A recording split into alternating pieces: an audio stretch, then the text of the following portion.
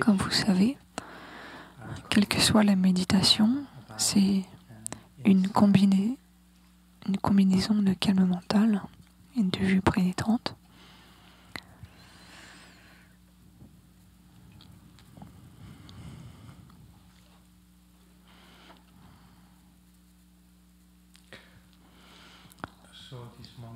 Donc ce matin, fait une méditation sur le refuge.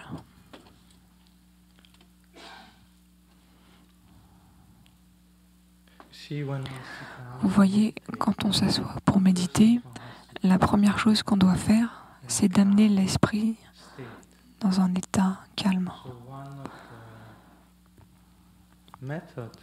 Et une des méthodes pour faire cela, qui est très efficace pour cela, c'est de faire les neuf cycles. Donc pour ceux qui connaissaient, vous pouvez le faire. Et pour les autres, je vais expliquer d'une façon simple. Non, ça vient de la tradition euh, du Vrajayana, on dit que son esprit agité vient parce que l'énergie circule dans certaines euh, parties de notre corps. Donc l'énergie subtile circule dans les, dans les canaux, dans les canaux droits et gauche du corps. Et afin d'amener les vents euh, davantage dans le canal central,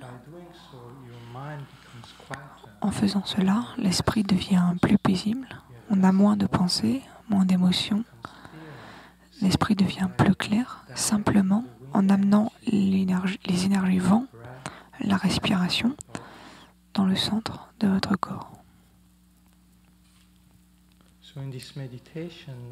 Dans cette méditation, on imagine d'abord inspiré par la narine droite, on inspire de l'énergie de lumière, même si en fait on, inspire par les, deux, par les deux narines et dans nos poumons, on imagine qu'on est là, qu'on inspire par la narine droite de l'énergie de lumière qui vient jusqu'au sommet de la tête et ensuite descend du côté droit du corps jusqu'à environ quatre doigts sous le nombril.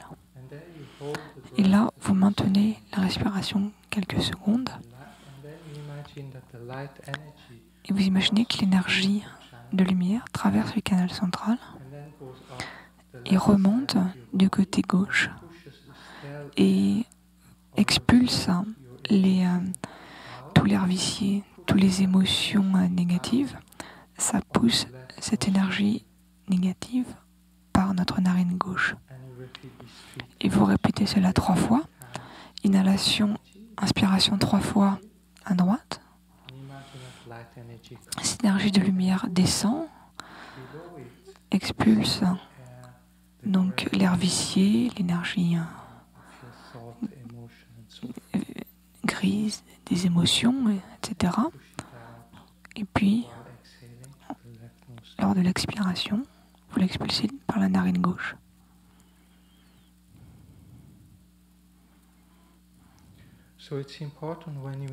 Donc c'est important quand on inhale, quand on inspire, de, de faire une rétention, quelques secondes. Donc on crée un espace entre l'inspire et l'expire.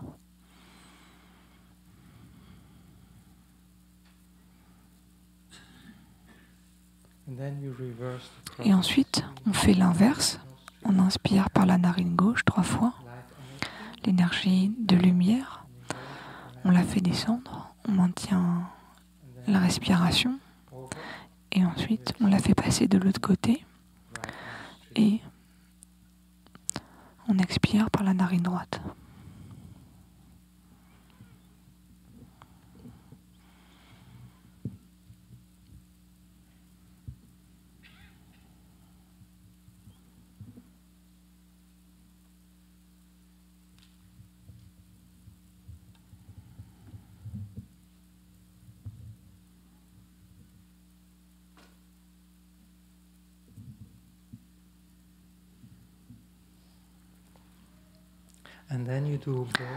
Et puis, vous faites les deux narines en même temps. Donc, vous inspirez par les deux narines de l'énergie blanche de lumière. Vous l'amenez jusqu'au sommet de votre tête. Et ensuite, vous imaginez inspirer cette énergie de lumière vers le bas, des deux côtés de votre corps, par les deux côtés de votre corps. Et quand vous maintenez la respiration, vous serrez ces deux côtés l'un contre l'autre. Donc quatre euh, doigts sous le nombril, près de la colonne vertébrale. Vous, vous maintenez serré cette euh, énergie de lumière du côté droit et gauche ensemble dans le centre. Et en euh, les, les fusionnant ensemble, vous imaginez que ça produit un peu de chaleur, comme une friction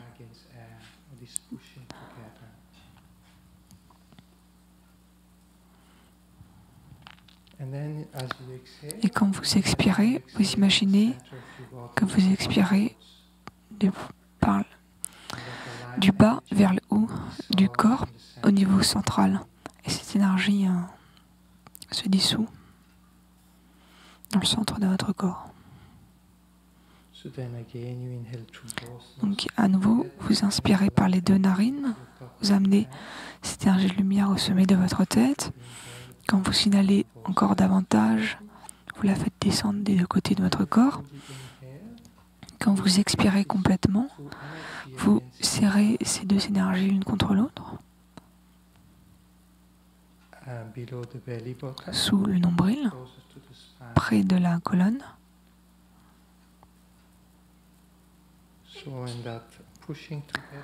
Et cette rencontre des énergies produit une chaleur. Et vous vous focalisez sur cette chaleur.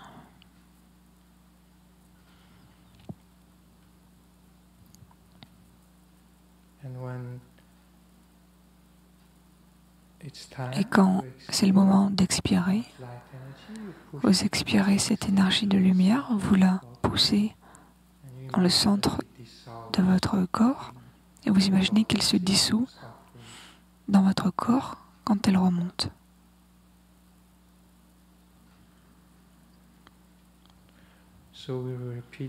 Donc on répète cela trois fois. Donc trois fois narine gauche et après de l'autre côté et après trois fois au centre. Donc le, le processus entier, on le répète trois fois.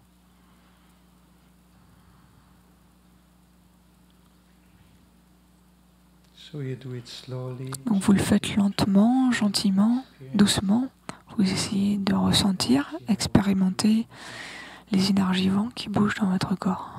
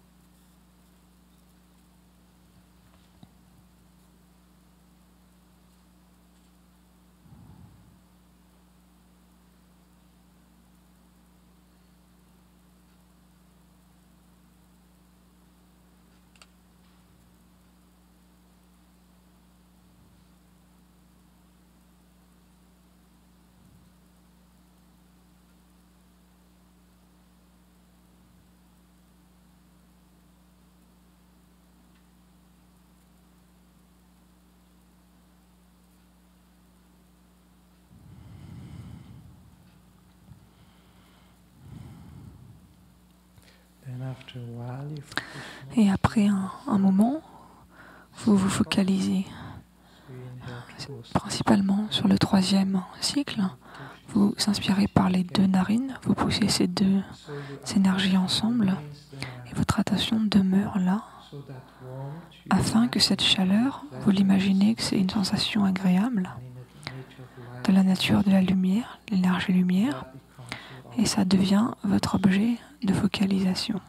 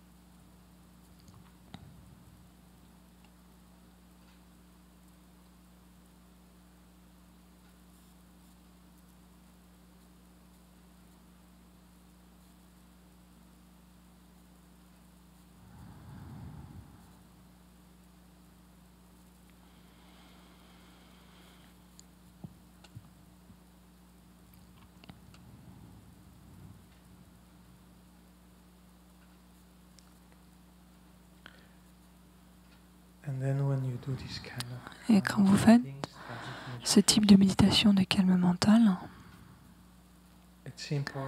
c'est important de ne pas être trop, euh, pas être trop serré hein, mentalement, enfin, pas faire trop d'efforts parce que ça crée des tensions, de l'agitation, et ne pas être trop relaxé, pas trop détendu. Parce que sinon, on commence à rêvasser, à perdre la focalisation. Donc il faut trouver cette voie du milieu euh, qui n'est ni trop relâchée, ni trop resserrée, ni trop tendue.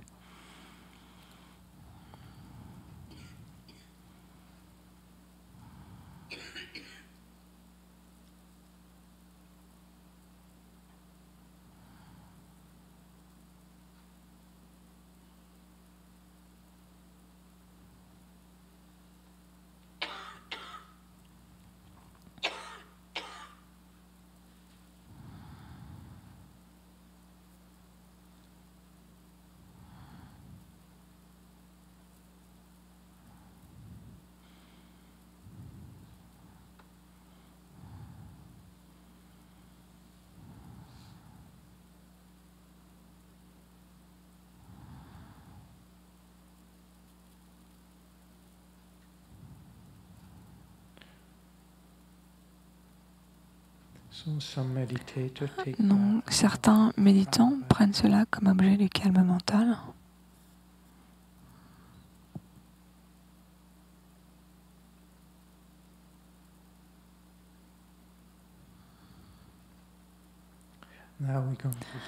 Puis maintenant, on va changer de méditation. Donc depuis l'espace de votre esprit, essayez de faire émerger l'image du Bouddha.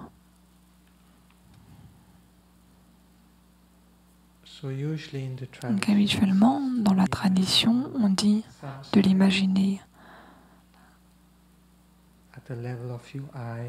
au niveau de nos yeux, au niveau euh, où se porte notre regard, en face de nous, à la distance d'environ un bras, un bras étendu devant nous.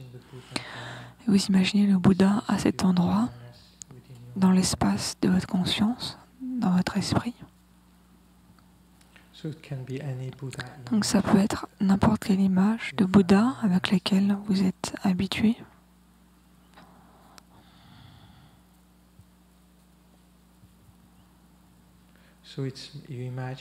Donc on imagine qu'il est fait de lumière, d'énergie lumineuse.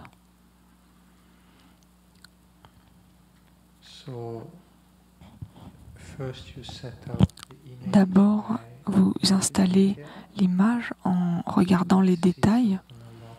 Il est assis sur un lotus, un disque de lune, dans la position du lotus, avec la main droite euh, dans le mudra qui touche la terre, la main gauche qui tient le bol à aumône empli de nectar. Et il porte les trois robes d'un moine. Il a une protubérance crânienne au sommet de sa tête, comme un, chignon qui serait fait de ses cheveux.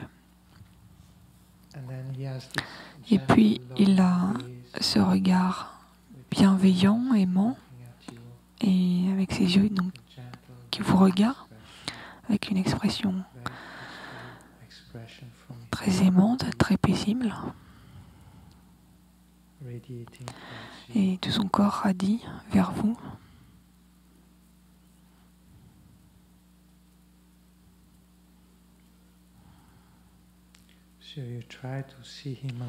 Vous essayez de le percevoir vivant.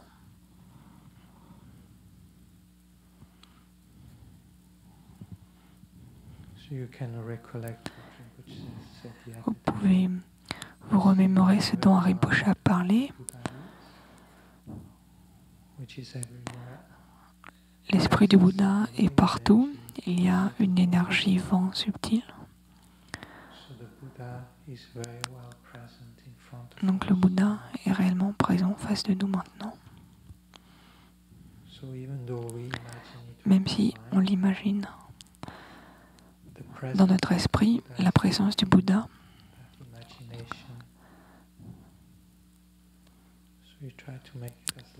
et là, donc on essaie de le rendre aussi vivant que possible.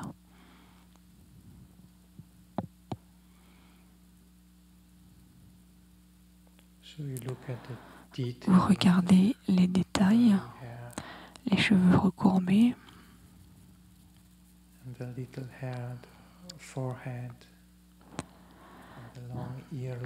les, les lobes étendus, etc. Détails dont vous vous souvenez. Vous regardez les détails l'un après l'autre afin de clarifier, de rendre plus vivide la visualisation.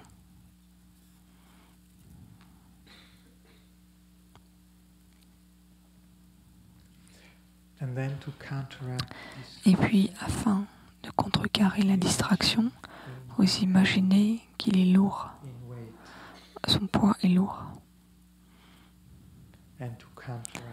Et pour contrecarrer l'opacité mentale, vous l'imaginez très brillant.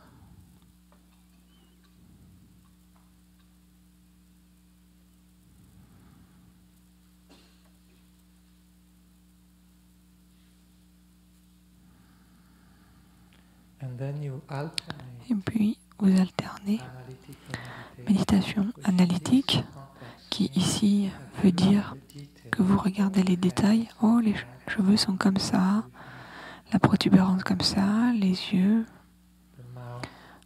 la bouche comme ça, elle a ce sourire doux, les oreilles, les épaules, les mains, les pieds méditation analytique, ici, dans ce contexte, veut dire que vous regardez les détails, vous scannez le corps.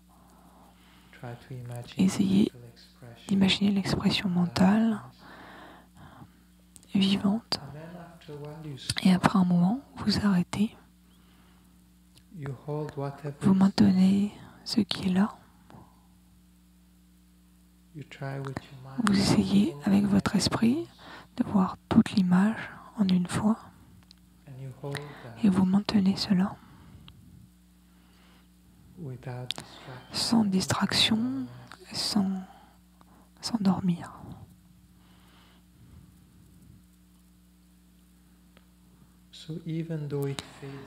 Donc même si ça s'efface, si c'est moins clair, ça devient plus flou,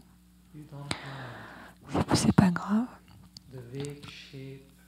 Vous maintenez cette vague forme du Bouddha qui est là ça suffit. Vous focalisez là-dessus.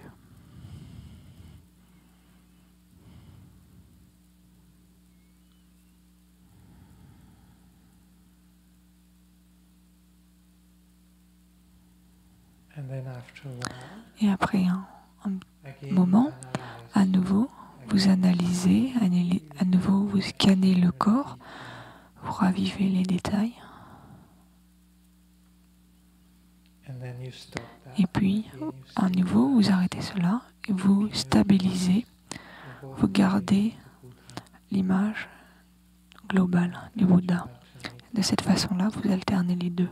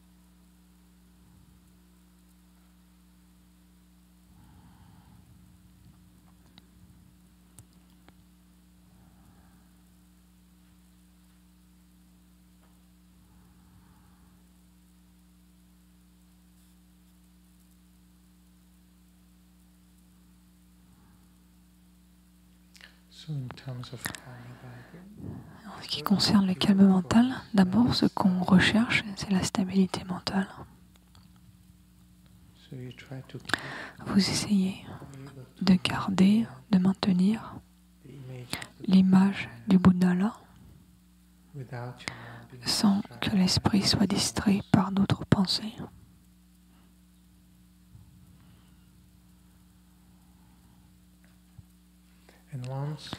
Et une fois que vous avez un certain degré de stabilité, alors vous travaillez sur la clarté.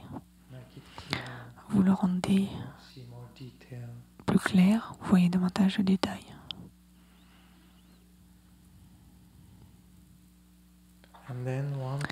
Et ensuite, une fois que vous avez la stabilité et la clarté, vous travaillez sur l'intensité. L'intensité, c'est d'enlever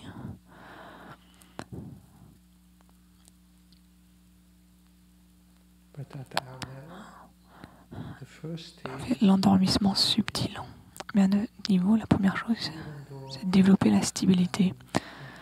Donc même si de temps en temps, on augmente la clarté grâce au scan, en voyant davantage de détails, on essaie surtout de travailler la stabilité.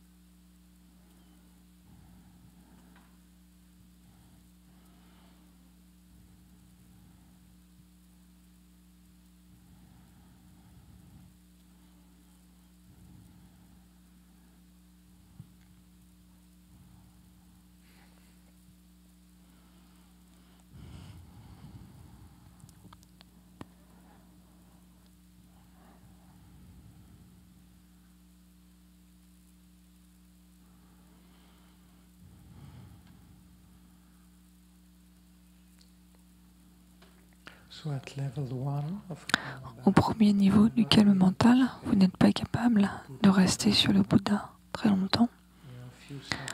quelques secondes et vous perdez. Il faut, faut le ramener.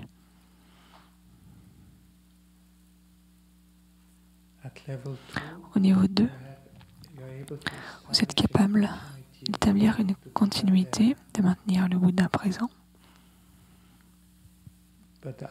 Mais euh,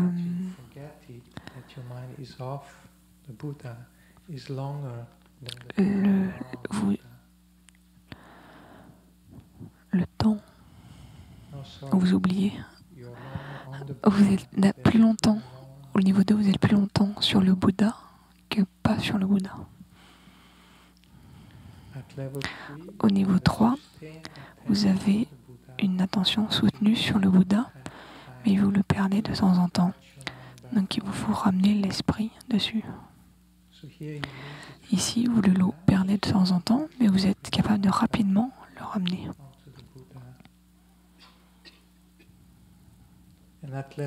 Et au niveau 4, vous êtes capable de maintenir avec une partie de votre esprit continuellement maintenir le Bouddha.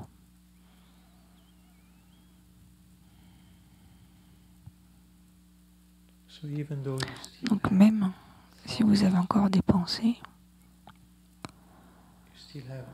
vous avez encore des distractions, vous avez encore un manque de clarté, vous êtes capable de maintenir l'image de Bouddha continuellement.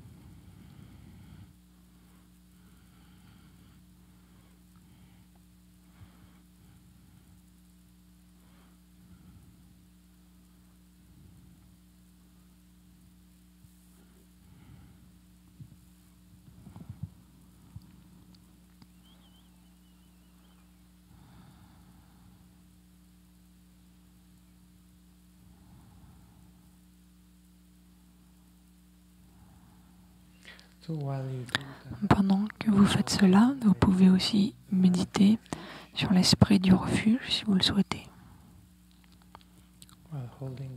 Tout en maintenant le Bouddha présent, vous réfléchissez à ses qualités, le fait qu'il a complètement abandonné toutes les afflictions, toutes les perturbations mentales, tous les voiles. Il n'expérimente aucune souffrance du corps de l'esprit, cela pour toujours.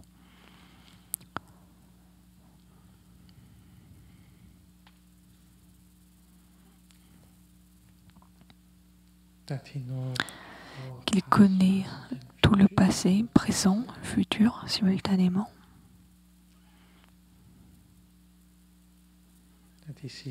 Il voit tous les phénomènes clairement. Il voit tout l'esprit des êtres, leur niveau de progrès spirituel, ce qu'ils ont déjà atteint, ce dont ils ont besoin de développer, et la meilleure façon de procéder.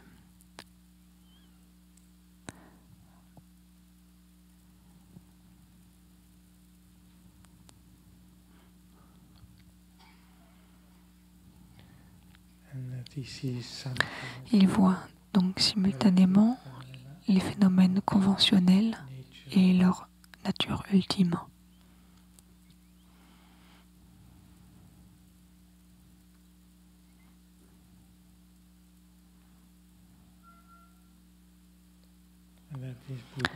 Le, le Bouddha a davantage de compassion envers chacun d'entre nous qu'une mère pour son seul enfant, qu'il a une équanimité complète. Il aime chacun d'entre nous exactement de la même façon.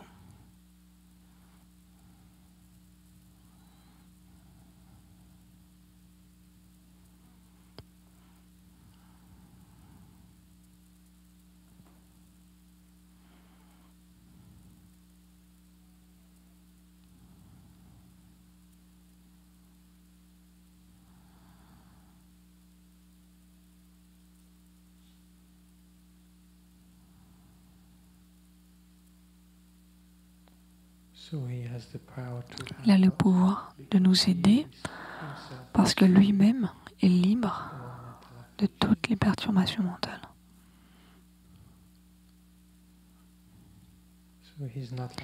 Il n'est pas comme un aveugle qui guiderait d'autres aveugles.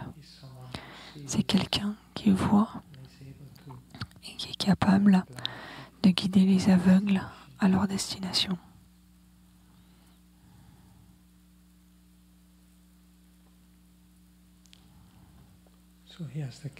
Donc il a les capacités, il a le souhait spontané de faire cela grâce à sa compassion pour nous.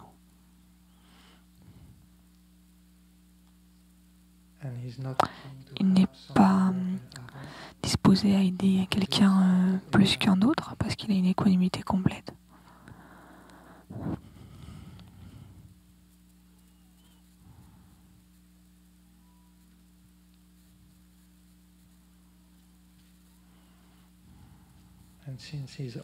Comme il est, son esprit omniscient pénètre tous les phénomènes, pénètre ce monde, ce corps, cet esprit.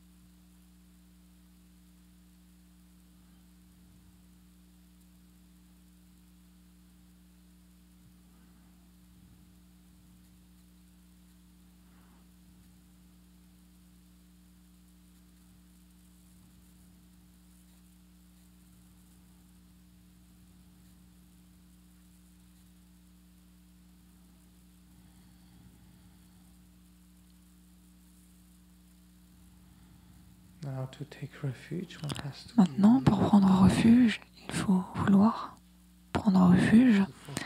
Il faut se focaliser sur euh, notre situation euh, pitoyable. Que nous sommes sous le contrôle du karma, des perturbations. Et à cause de cela, il n'y a aucune garantie au moment de notre mort qu'on ne va pas renaître dans un état d'existence infortuné. On a toutes les causes, toutes les graines dans notre esprit. Donc si ces graines mûrissent au moment de la mort, elles peuvent produire une apparence infernale,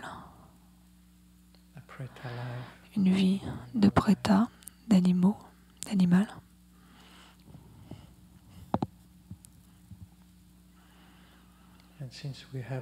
Et comme on n'a pas purifié ces graines, il n'y a aucune garantie qu'on ne va pas terminer là.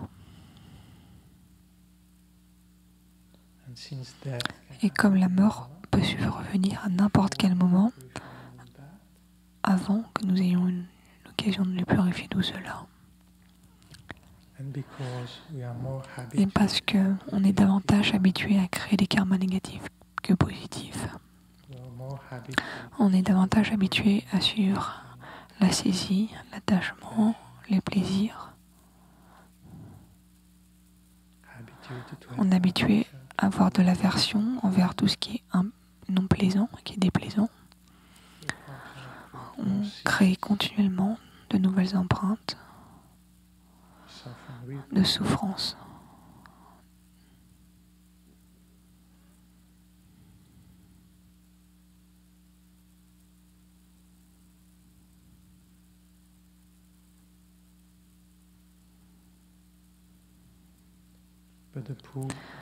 Mais le Bouddha a le pouvoir de nous protéger de cela.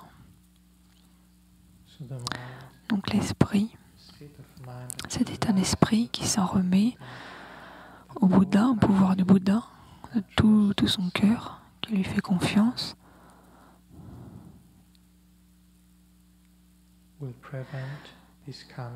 cette, cette foi va prévenir le mûrissement d'empreintes négatives au moment de la mort.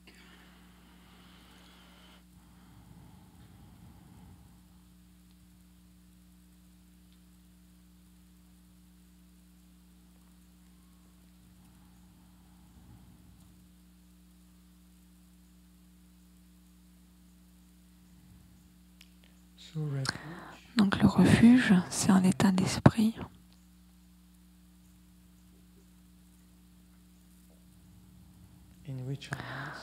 Où d'un côté, on est complètement conscient des qualités du Bouddha,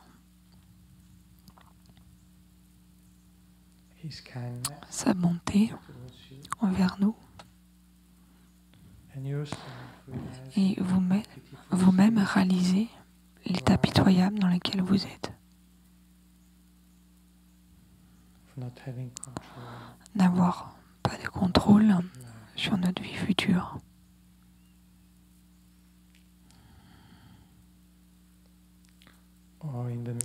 Ou euh, dans le, pour les décapacités intermédiaires, on se focalise sur le fait que notre esprit est toujours sous le contrôle des perturbations, l'ignorance, toujours prisonnier dans l'existence cyclique.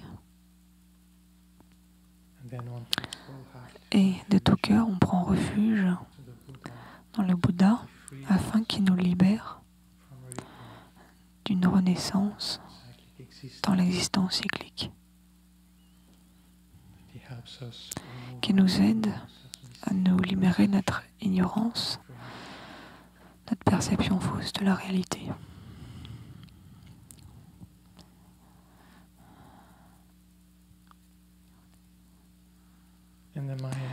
Et dans le refuge du Mayana, pour ceux qui ont généré Bodhicitta, ils sont complètement conscients que eux-mêmes sont piégés dans l'existence cyclique. Et de la même façon, tous les êtres. Donc ils, étendent leur, leur esprit, leur cœur pour inclure tous les êtres.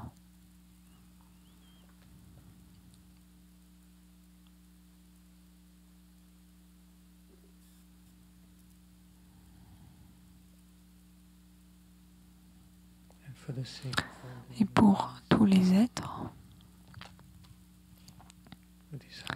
avec cette, ce cœur d'amour qui englobe tous les êtres, ensemble, ils prennent refuge dans un être éveillé. Pour les guider à l'esprit omniscient.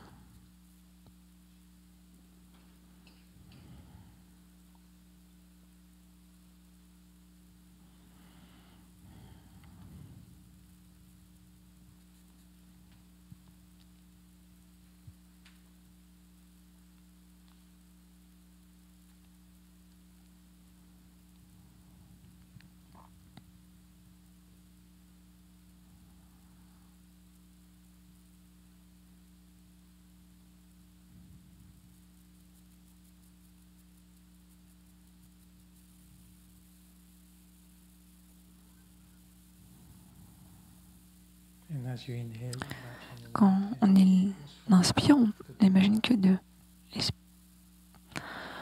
la lumière, l'énergie de lumière vient du cœur du Bouddha qui purifie toutes nos karmas négatifs, les perturbations mentales et remplit notre corps d'énergie lumineuse. Rend votre corps très lumineux.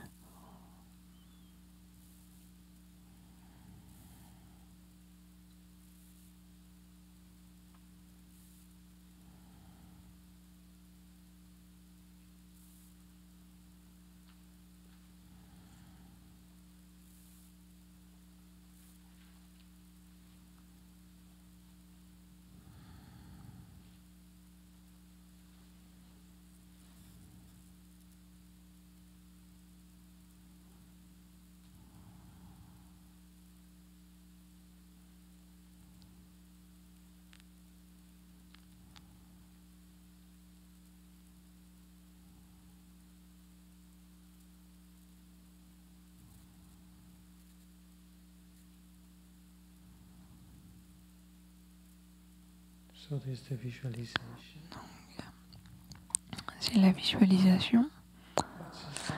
Mais ce qui est important, c'est le ressenti dans le cœur, de s'en remettre depuis notre cœur dans l'air au Bouddha.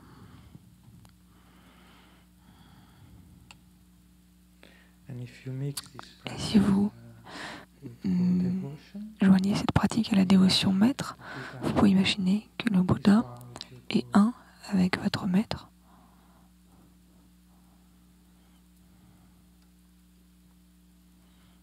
Vous pouvez visualiser votre maître sous la forme du Bouddha Shakyamuni. Donc le maître a les mêmes qualités que le Bouddha.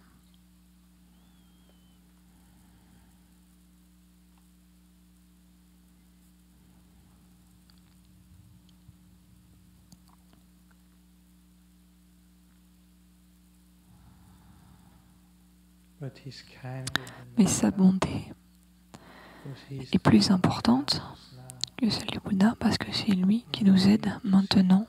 Vous n'êtes pas capable de voir le Bouddha directement. Mais nos maîtres, on a la bonne fortune, le bon karma de le rencontrer maintenant.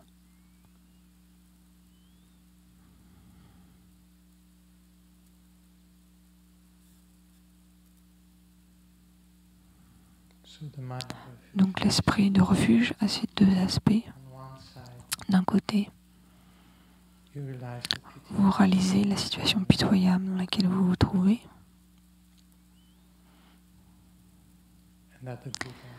Et de l'autre, le Bouddha maître a le pouvoir de vous libérer de cela.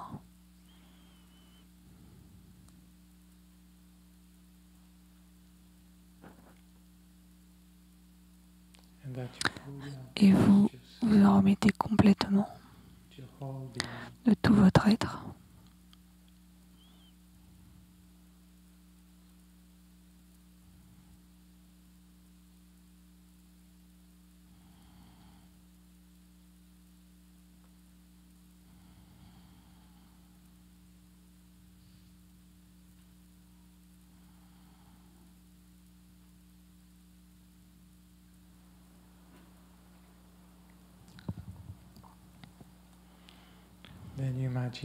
Puis vous imaginez le maître, le Bouddha se fondant en lumière, s'absorbant en vous.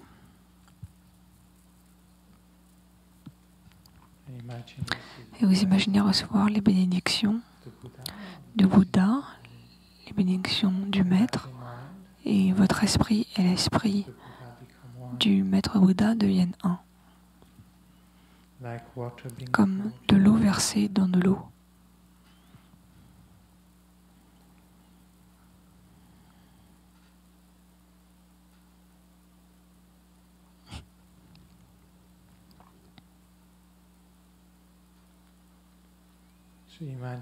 Vous imaginez que les qualités du Bouddha, les qualités et les qualités de votre maître sont transférées en votre esprit, que votre esprit devienne infusé des qualités du Bouddha, les qualités du maître.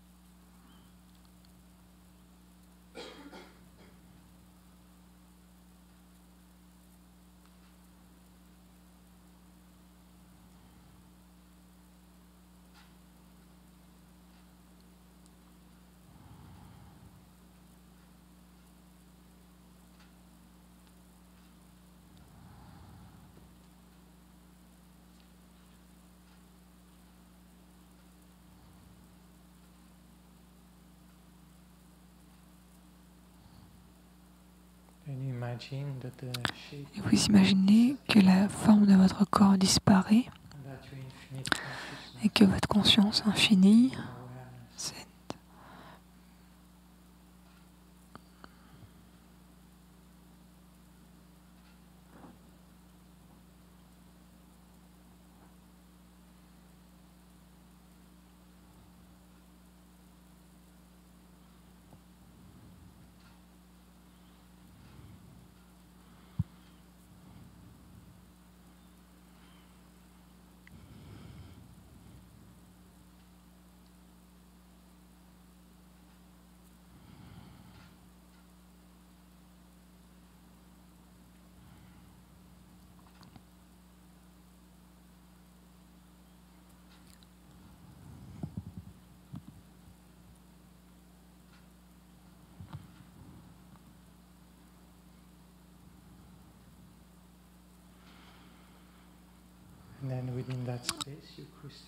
Et depuis cet état de conscience, vous cristallisez à nouveau votre corps, vous en devenez à nouveau conscient.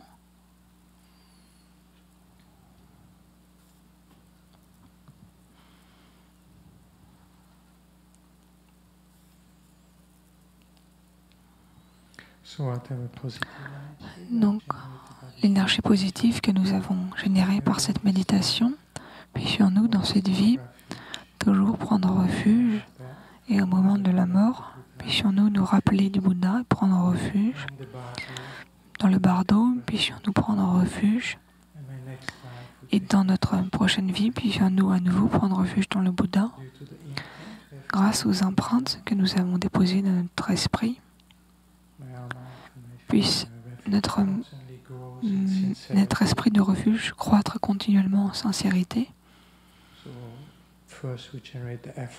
D'abord, on génère une réalisation euh, basée sur l'effort de la rallye du refuge, et puis ça devient spontané.